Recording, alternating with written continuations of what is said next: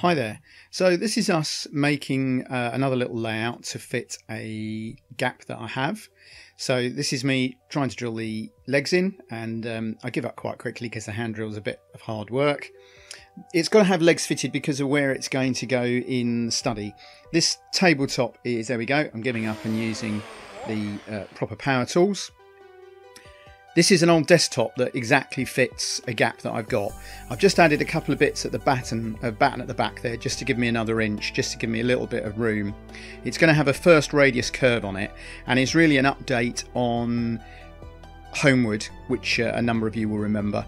So it's to replace that not an ideal piece of wood because it's very heavy, but once it's in place, it's staying there, and the weight of the board means that it should be fairly rigid. So here I am just using the edge of a drill just to countersink for the screws.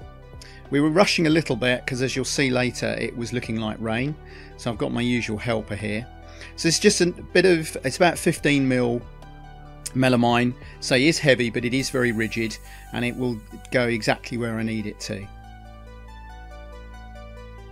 So here I'm just screwing the legs on. It's only got three legs because it rests on the edge of a desk and then on a windowsill, so it's a little unusual. I wish I could screw screws in that quickly in real life, and you'll see the same in a minute when we're sawing. But Doug's using the time lapse, so it's not too boring for you to watch. But these are just very basic woodworking skills, nothing complicated here. Nothing, uh, I'm not using electric screwdrivers or anything like that. So anybody can do this. I've just got an old workmate. That's actually my, that's about 30 years old, that workmate, as is the drill, strangely enough. That's just Douglas pointing out it's in shot. This is shot from a tripod, so there are a couple of bits when we're not properly in shot, so I hope you can uh, put up with that okay. So I've screwed the legs and what I'm doing here now is just putting a, a nail in to stop them swiveling, which is the way I was taught to do it years ago by a carpenter. So that's just the little legs. So just little four inch legs cut from a piece of rough timber. So this baseboard hasn't actually cost me anything. It's from an old desk. Uh, the timber came from a skip, uh, literally, as did the battening. So it's, it's actually cost us nothing to build it. And then in a moment what you'll see is we're going to use some old laminate flooring that I've got for the back scenes. I'd like the back scenes to be a little harder, but I tend to work with what I've got it's much easier that way and the old laminate flooring is quite rigid it's quite light and it's not a bad height. So this is just marking it out using a set square to do the saw cut. Both sides. And then again we're going to uh, there we go. Fine, you could saw that quickly. You can use an electric saw if you've got one but I find they don't do a very straight edge unless you've got a really good one and you know what you're doing. So I prefer to use manual saws many years ago, uh, late 1970s, when I was at school, we still got taught cabinet making. Um, and one of the few skills I actually gained from school was um, how to saw a straight line using a saw. So we're just tacking this on here. You could screw it, but um, I find nails are quite adequate. There's a lot of over engineering goes on with model railways. People putting a huge amount of effort in as if it was going to be a piece of structural furniture. And a lot of them are not. They're just going to sit.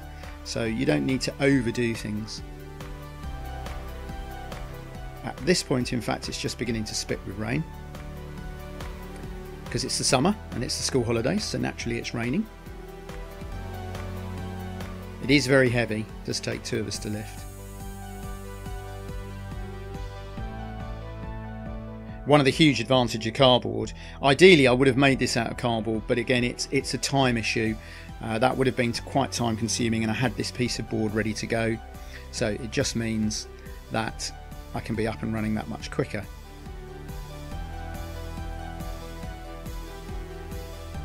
So you can't actually see us in shot here. There we go. So here we are, this is it in place, a little bit tight. You can see it's where Homewood used to be. Um, so really I've just replaced it.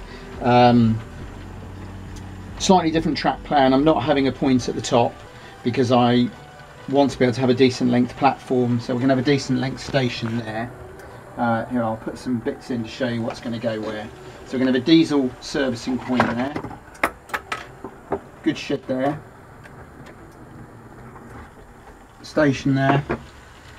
Probably signal box there somewhere.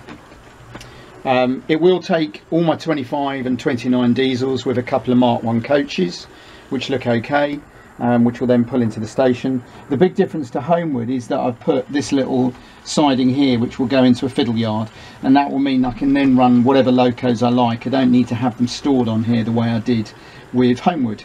So I've given the track a bit of a clean. I got some points from Eastbourne Models and Hobbies, £2.50 each.